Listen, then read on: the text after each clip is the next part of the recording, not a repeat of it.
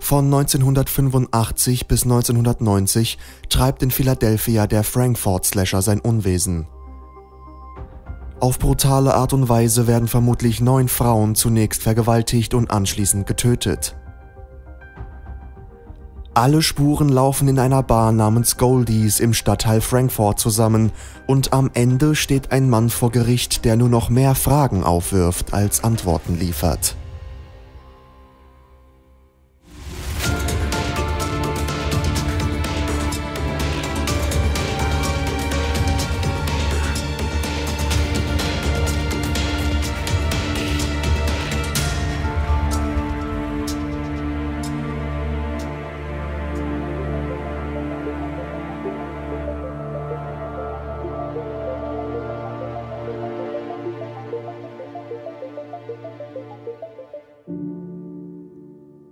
Es ist der Morgen des 26. August 1985, als Bahnarbeiter des SEPTA Güterbahnhof in Philadelphia den Leichnam der 52-jährigen Helen Patent zwischen den Reihen fein säuberlich gestapelter Eisenbahnschwellen finden.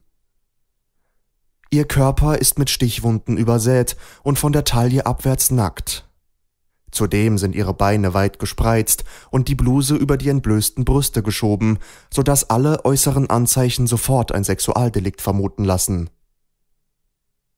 Die Obduktion offenbart, dass der Täter die Frau zunächst vergewaltigt und anschließend mit 47 Messerstichen vornehmlich in Kopf und Brust tödlich verletzt hatte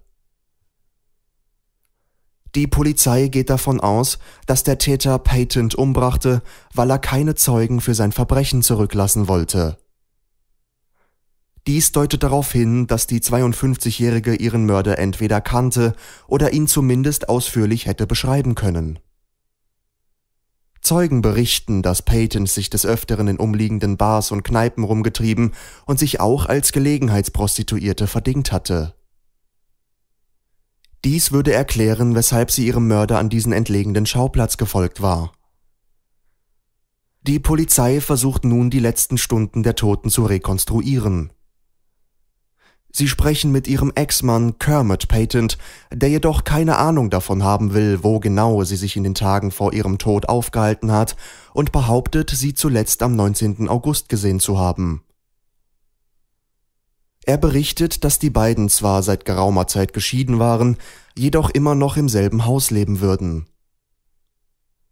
Wohin genau sie am 19. August aufgebrochen ist, habe sie ihm schlichtweg nicht erzählt, was aber nichts Ungewöhnliches sei, da die beiden seit geraumer Zeit getrennte Wege gehen. Am 3. Januar 1986, knapp fünf Monate nach dem ersten Mord, wird die Leiche der 68-jährigen Anna Carroll im 1400er Block der Ridner Street entdeckt. Genau wie Helen Patent ist auch sie von der Taille abwärts nackt, jedoch hatte der Täter diesmal bloß sechsmal zugestochen. Die Stiche befinden sich überwiegend am Rücken und eine klaffende Wunde erstreckt sich von Brustbein bis zur Leiste. Es hat fast den Anschein, als hätte der Täter sein Opfer wie ein Tier ausnehmen wollen. Obwohl der Tatort knapp 15 Kilometer vom Fundort Helen Paytons entfernt liegt, entdecken die Ermittler einige Parallelen zum ersten Mord. Zum einen liegen bloß vier Monate zwischen den beiden Taten, zum anderen weisen beide Leichen ähnliche Tatspuren auf. Es sollte sich jedoch bald herausstellen, dass es noch ein weiteres entscheidendes Bindeglied gibt. Beide Frauen waren häufig in den Kneipen rund um die Frankfurt Avenue unterwegs gewesen und hatten unter anderem die Golden Bar, von Einheimischen meist nur Goldies genannt, besucht. Über elf Monate später, an Weihnachten 1986, fällt aufmerksamen Nachbarn die weit offenstehende Tür zur Wohnung der 64-jährigen Susan Osef in der Richmond Street auf, woraufhin sie die Polizei verständigen. Die Tat ist eine exakte Kopie des Mordes an Anna Carroll und auch Olsef hatte, obwohl ihre Wohnung rund 10 Kilometer von Frankfurt entfernt liegt, des Öfteren im Goldies verkehrt. Wenige Tage später kehrt der Mörder nach Frankfurt zurück und tötet am 8. Januar 1987 die 28-jährige Jean Durkin. Ihre mit 74 Messerstichen entstellte Leiche lässt er unter einem LKW zurück, der vor einem Restaurant parkt. Die Frau liegt in einer Blutlache, ihre Beine sind weit gespreizt und sie ist von der Hüfte abwärts nackt. Nachdem er sie vergewaltigt hatte, stach der Mörder ihr in die Brust, ins Gesäß sowie in den Rücken. Ein Zaun sowie die Seite des Lastwagens sind mit Blutspritzern übersät. Das Leben der 28-Jährigen verläuft nicht gerade unbekümmert.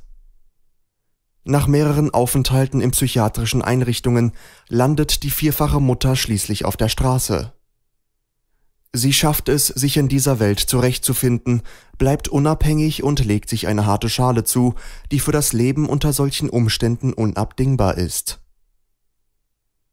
Zuletzt hatte sie ihr Quartier in einer stillgelegten Bäckerei aufgeschlagen, die sich bloß zwei Häuser entfernt vom Goldies befindet. Im Zuge der Ermittlungen finden die Polizisten heraus, dass sich Durkin am Tag vor ihrer Ermordung mit einer Obdachlosen namens Michelle Martin um eine Decke gestritten hatte.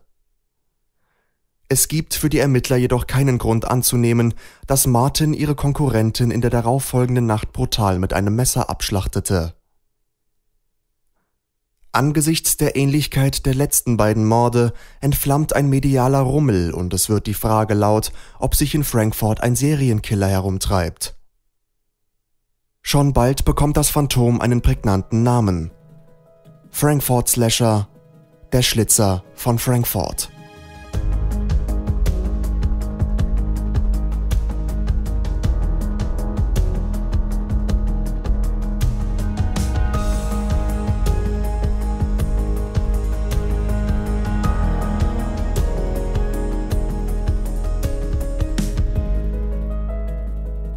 Während der öffentliche Druck auf die Polizei zunehmend größer wird, geschieht am 29. Januar 1987 ein weiterer Mord, der alle Beteiligten in diesem Fall jedoch fraglos zurücklässt. Bis heute herrscht über diese Tat Unklarheit, denn sie weist nicht den typischen Vorgang des Frankfurt Slashers auf. Das Opfer ist die 29-jährige Catherine M. Jones. Ihre Leiche wird hart gefroren und mit Schnee bedeckt auf einem Gehweg im Viertel Northern Liberties gefunden. Jones hatte als Kellnerin auf der Frankfurt Avenue gearbeitet, was zwar für eine Verbindung zur Mordserie spricht, doch es passen einige andere Dinge nicht in das Gesamtbild. Der Mörder hatte die 29-Jährige erschlagen und erdrosselt, zudem sind ihr Kiefer sowie der Schädel gebrochen und es gibt keinerlei Anzeichen auf einen sexuellen Missbrauch. Die Nachforschung der Morduntersuchung konzentriert sich zunächst auf Befragungen im Goldies, um mögliche Zusammenhänge zwischen den bisherigen Opfern zu ermitteln Darüber hinaus suchen die Polizisten unter den männlichen Gästen nach Personen, die die Frauen gekannt hatten und eventuell als Täter in Frage kommen. Bedienungen bestätigen, dass die Opfer sich in der Vergangenheit mehrfach in dem Laden aufgehalten hatten. So soll Anna Carroll zwar als Stammgast bekannt gewesen sein, war allerdings, laut einigen Berichten, meist für sich allein, hatte ihre Drinks selbst bezahlt und war nur selten mit jemandem zusammen beobachtet worden Susan Olseth hingegen war wenige Tage vor ihrem Tod in der Kneipe aufgefallen und soll sich mit mehreren Gästen unterhalten haben. Auch die 28-jährige Jean Durkin habe das Goldies häufig besucht. Allerdings nicht wegen der Drinks, die sie sich ohnehin nicht hätte leisten können, sondern um sich aufzuwärmen.